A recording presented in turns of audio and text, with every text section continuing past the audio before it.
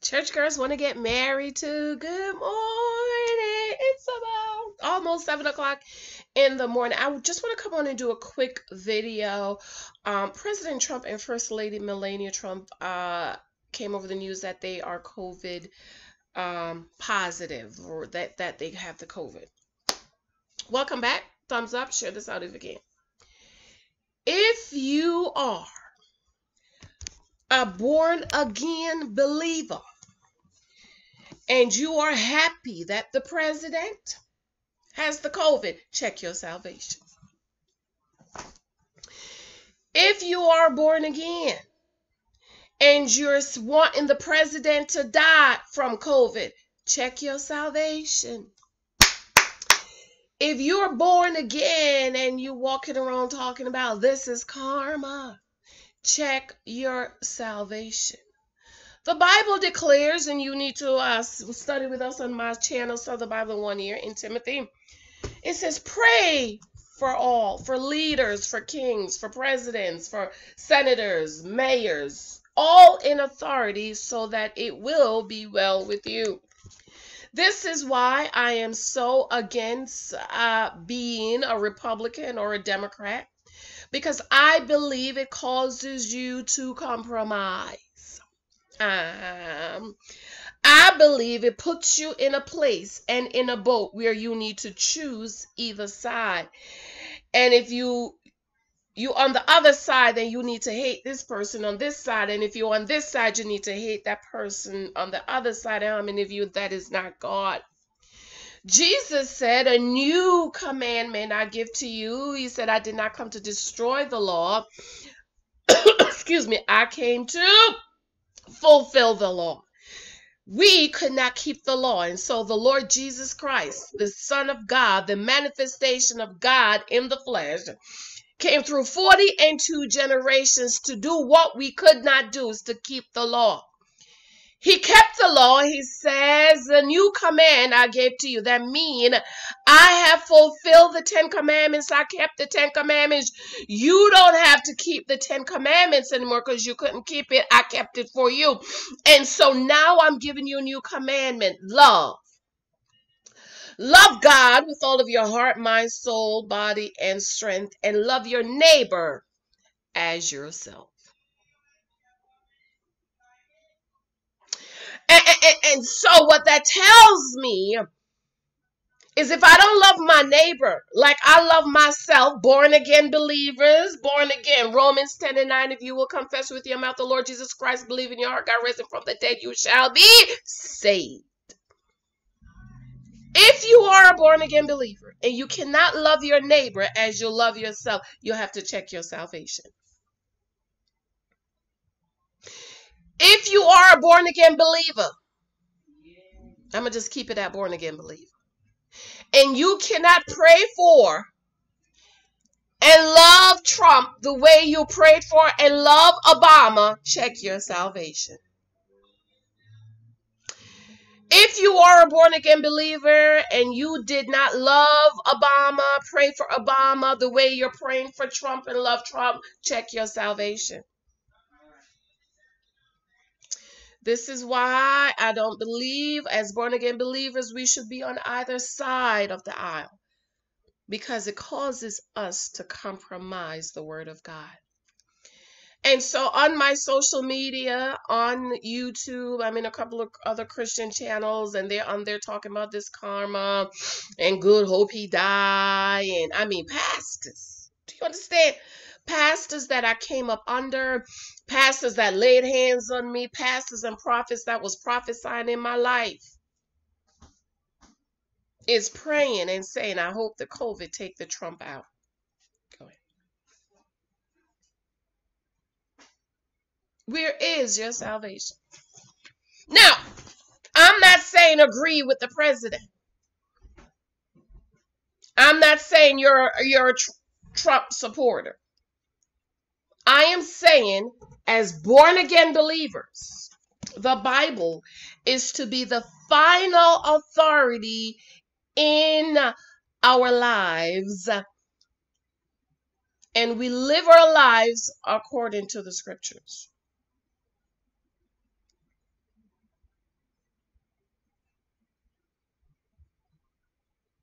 And so this morning, born again believers check your check your salvation. Look in the mirror, check your salvation. You ain't got to tell me, you ain't got to tell nobody. Just just be have a honest conversation with yourself. Do I hate this man? Do I want this man to die because I don't agree with him politically?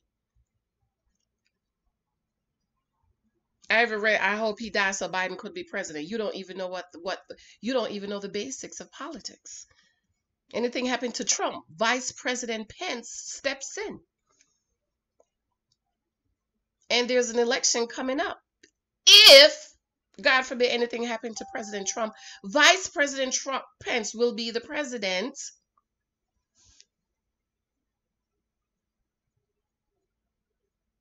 And if the election goes into Trump Trump uh, favor,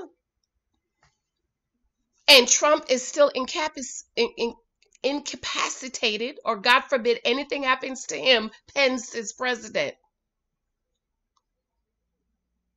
And Pence can get to run two more times. So you don't even know the basics of politics of the foolishness that you're talking about. This is why we need to read and this is why you need to make the Bible the final authority and pray. I'm not saying you agree. I don't. Mm. When 2016, when God told me Trump was going to win the president, and he said, write it, because I'm a writer, I was afraid. I'm I was scared for my life. I wrote it, but I was like, I ain't gonna, I ain't putting that. I told my husband, told my pastor, talk about, I ain't gonna write that. And then, then the word in Habakkuk came to me write the vision and make it plain. And I realized to myself, why am I afraid of because of what something God told me? I didn't say Trump was going to win the election. God told me Trump's going to win. Because I couldn't see how was that possible.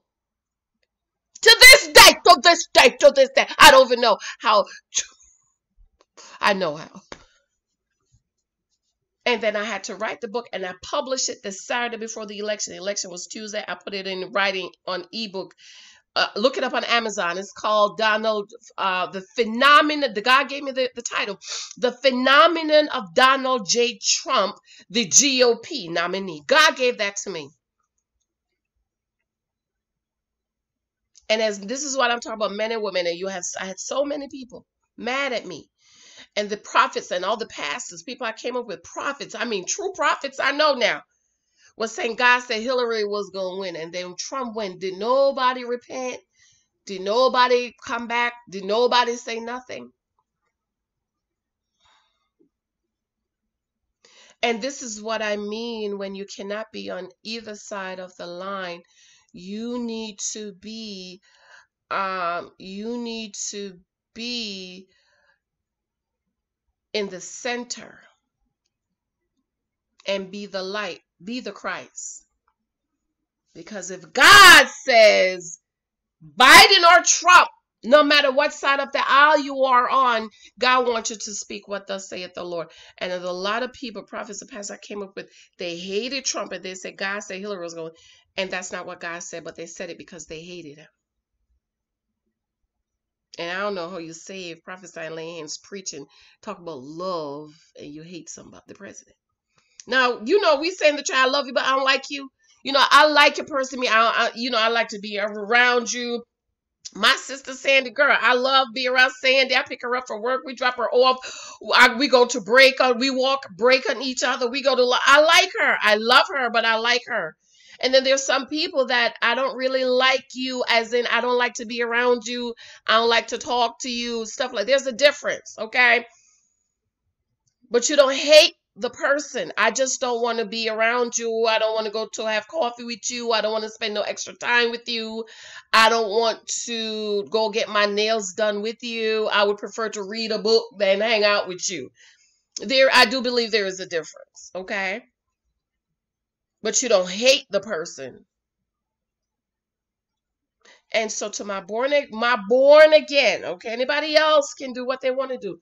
But to my born again brothers and sisters, I'm telling you, kneel down and have a talk with the Lord. Because I, I really believe that the presidency of President Donald Trump is to check the believer's salvation, allow us to have a heart check. I love and pray for President Trump like I love and pray for President Obama. Because I realize if I did anything less, my salvation is in jeopardy. There's no way I could love and pray, and pray for President Barack Obama and hate Trump because you don't agree with him. Not for the believer. Anybody else can hate and take sides. For the believer, your side is the Word of God.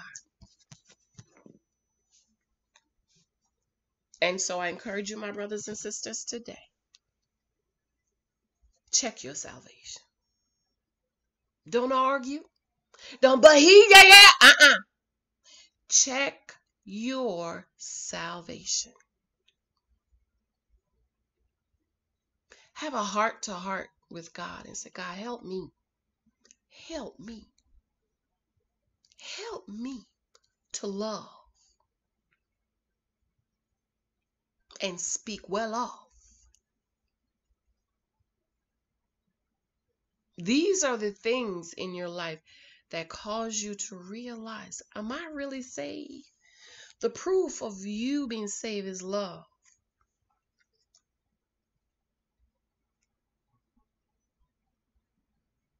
The proof of you being saved, you want to say everybody, Ben, I used to use Bin Laden.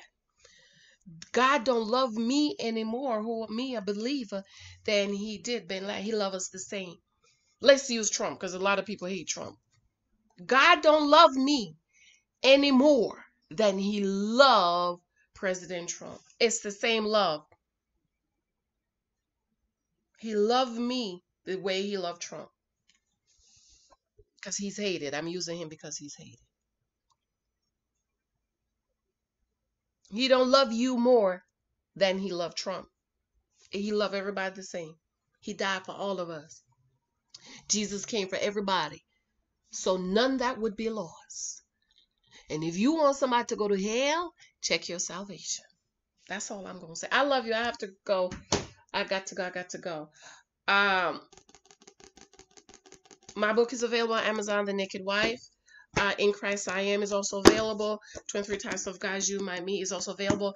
The the Donald J. Trump, the GOP nominee, is 199. It's like 32 pages. You can read that in 30 minutes. God told me that Trump was going to be president for 2016. 2020, I didn't get any prophetic word. I have an idea, but um, I didn't get a prophetic word. Okay. So I love you. Let me know what you think just based on what I say. I don't want to hear nothing about he did this, he that. What do you think about what Jesus said? Love one another. That is the proof of your salvation. Do you need to have a some, have a talk with Jesus? All right. I love you guys. I have to go. I have to go. I have to get my day started. All right. Bye.